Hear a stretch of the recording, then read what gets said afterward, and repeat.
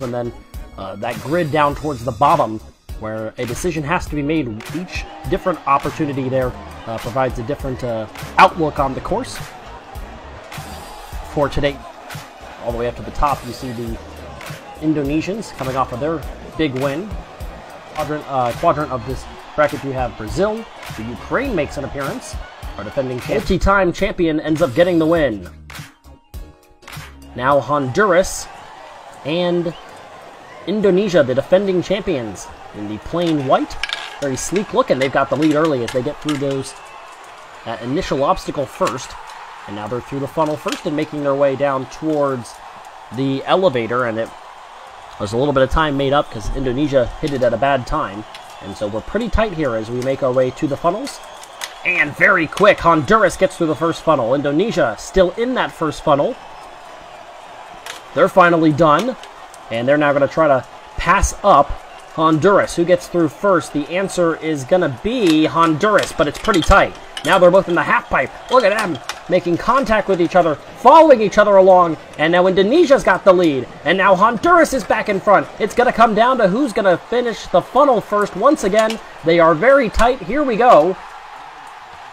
Out at the last moment, here comes Indonesia trying to pull it off, and they do.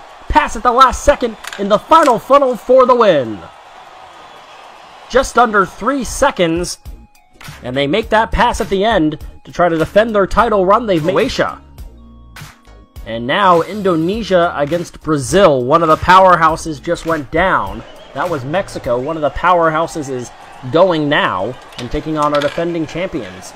Indonesia has been so good and they bump and run on Brazil to take the lead. One prong separating as they head up the elevator.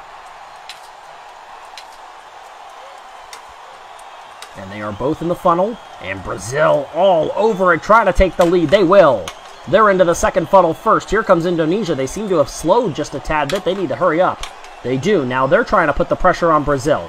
Who's going to get out first? It's still Brazil. They're down to the half pipe now. Trying to gain an advantage. Here comes Indonesia. They're tight. They're both headed down this portion of the course. They make contact again. Now they're going to separate sides. They make contact again. Off to the other side. Another hit. They're still with each other. Another contact is made. Once again, they touch. Now they're to the final funnel. Who's going to come out on top? A spot in the semis on the line. It belongs to Indonesia by less than a second. What a finish. And another impressive run. Indonesia against Poland.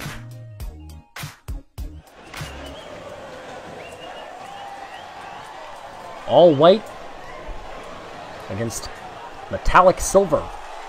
Interesting matchup. And their flags are polar opposites of each other as well. They're very tight early. Indonesia's got the lead going into the funnel. They've got the lead going out of the funnel as well. How many prongs do they take the advantage by? It looks like they've got a pretty sizable lead. Where is Poland? There they are, a huge lead. As Indonesia trying to take advantage of that. They got to the elevator and up the elevator in a ton uh, quicker time. And they are finishing up that funnel.